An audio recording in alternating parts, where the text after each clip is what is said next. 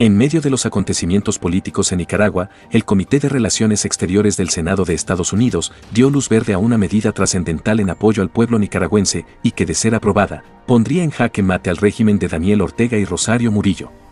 Se trata del proyecto de ley que lleva por nombre Ley de Restauración de la Soberanía y los Derechos Humanos en Nicaragua, propuesta por el senador republicano Marco Rubio y el senador demócrata Timothy Kane. Con esta nueva ley los senadores estadounidenses buscan responsabilizar al régimen opresor de Ortega y Murillo por sus graves violaciones a los derechos humanos y por sus tácticas represivas contra opositores nicaragüenses. La medida, que refuerza las sanciones previamente impuestas por la ley Nica Act y ley Renacer, también busca responsabilizar por sus crímenes a la pareja dictatorial, que se encuentra atornillada en el poder por medio de fraudes electorales, represión, cárcel, muerte y exilio de sus opositores.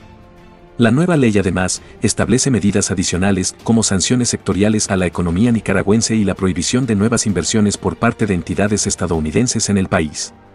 Los senadores María Elvira Salazar y Chris Smith también han respaldado esta causa presentando una legislación compañera en la Cámara de Representantes. Con estas acciones, Estados Unidos busca enviar un mensaje contundente de apoyo a la oposición nicaragüense y de condena a las violaciones de derechos humanos perpetradas por el régimen de Ortega y Murillo. El senador Marco Rubio expresó su entusiasmo a la aprobación por parte del Comité de Relaciones Exteriores de Estados Unidos.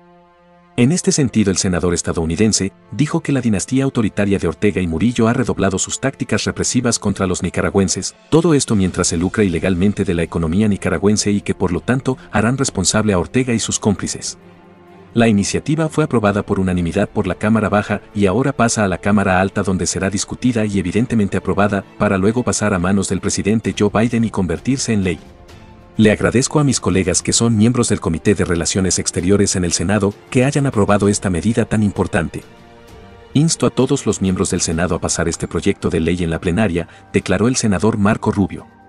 Por su parte, el senador Timothy Kane afirmó que lo que ocurre en América Latina nos afecta aquí mismo. El régimen de Ortega ha cometido horrendos abusos de derechos humanos contra la gente de Nicaragua, lo cual ha resultado en inestabilidad política, violencia y un aumento de migración.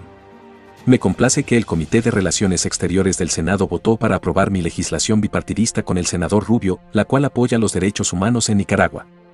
Insto al Senado en pleno a pasar esta legislación lo antes posible, manifestó el legislador. Desde abril de 2018, el gobierno de Estados Unidos se mantiene enfrentado con el dictador Daniel Ortega en Nicaragua, debido a la violenta represión contra las protestas antigubernamentales, donde policías y paramilitares al mando de Daniel Ortega y Rosario Murillo asesinaron a más de 350 opositores. Con esta nueva ley, el gobierno de Estados Unidos busca presionar y asfixiar al régimen sandinista para que entregue el poder y restaure la democracia en el país.